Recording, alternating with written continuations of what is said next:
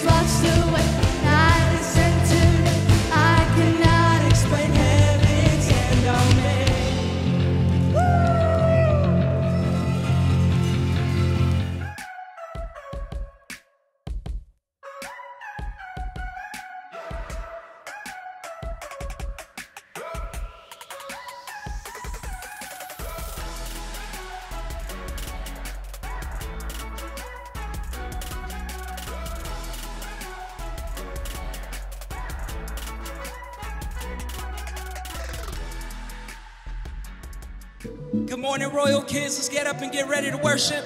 Come and clap with us.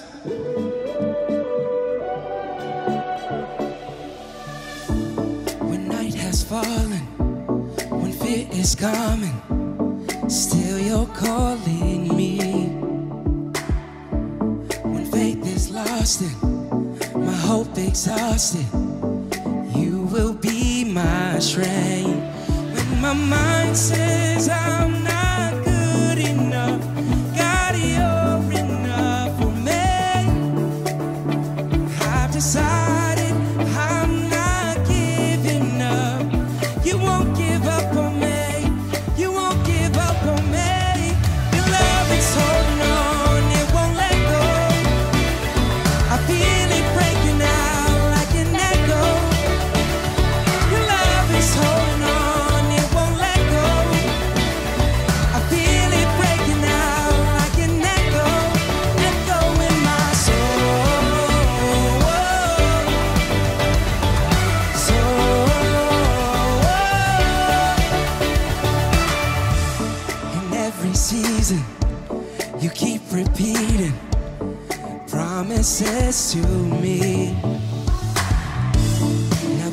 no stopping what you have started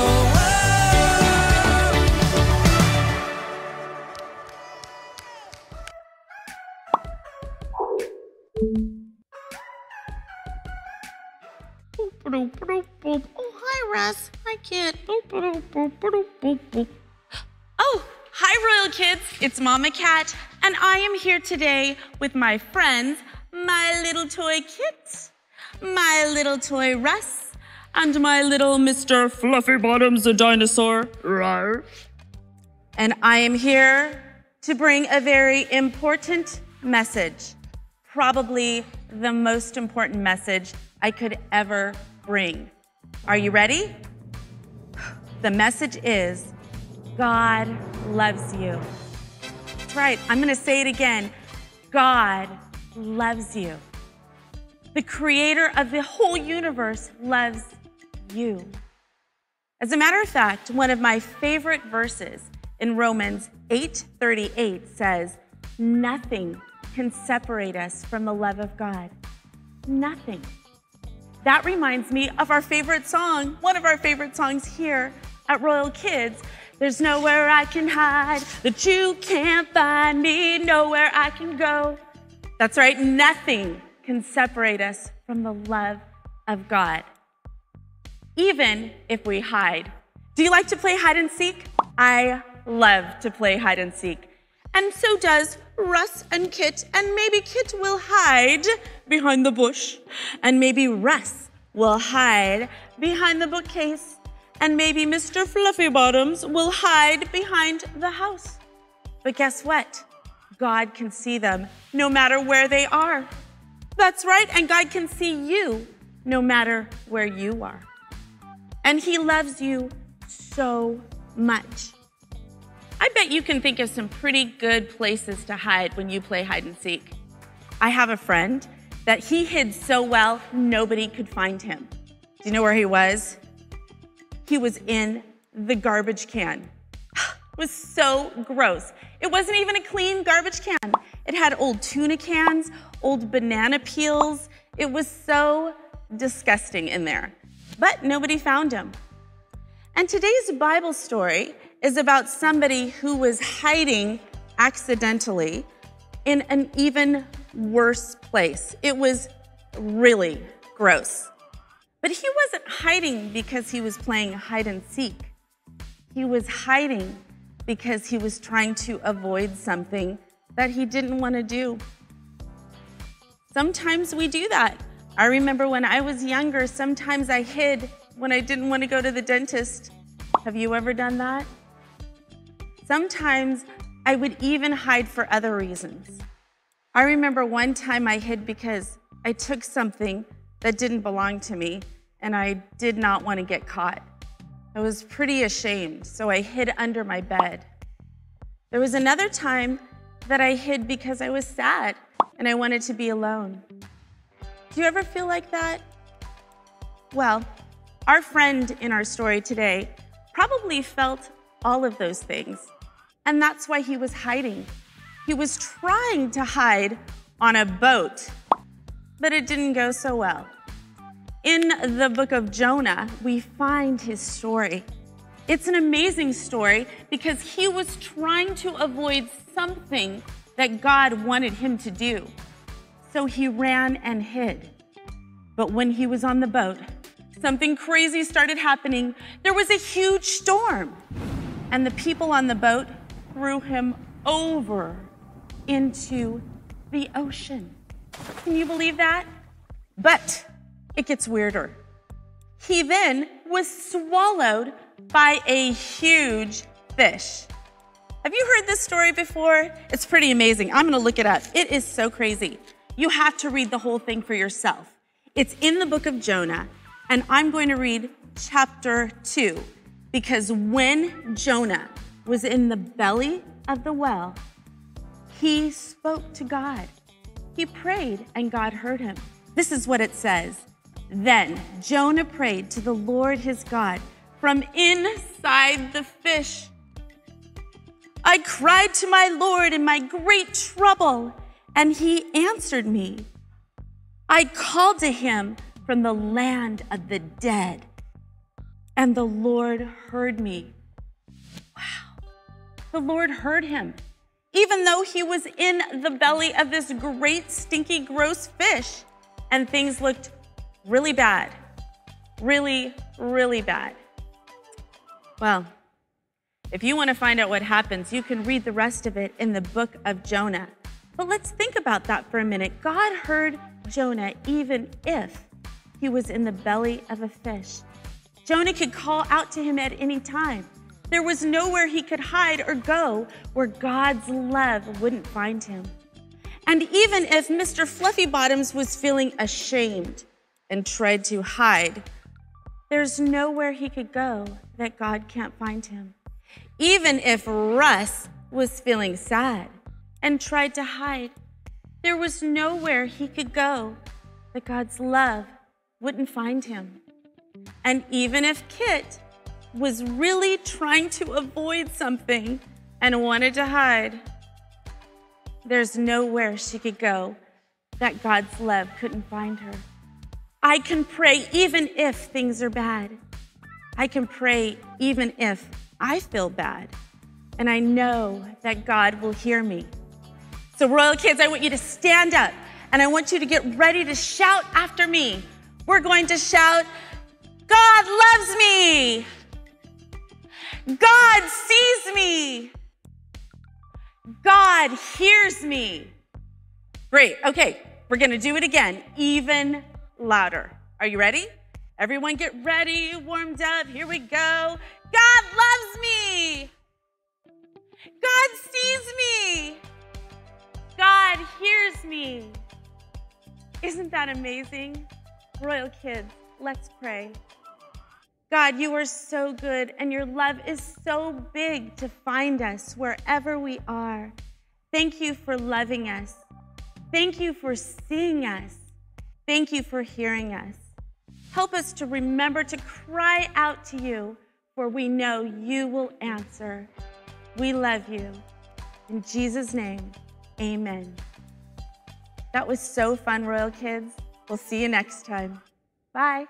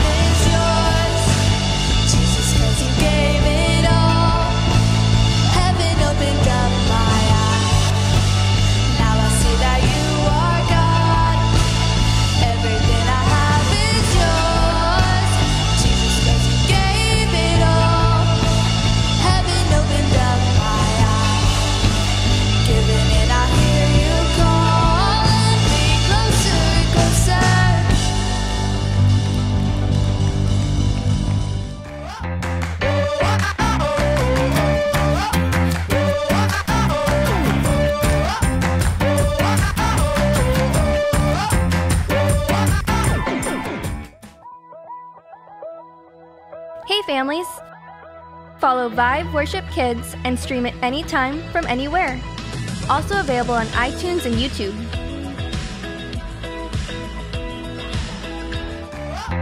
Oh, I-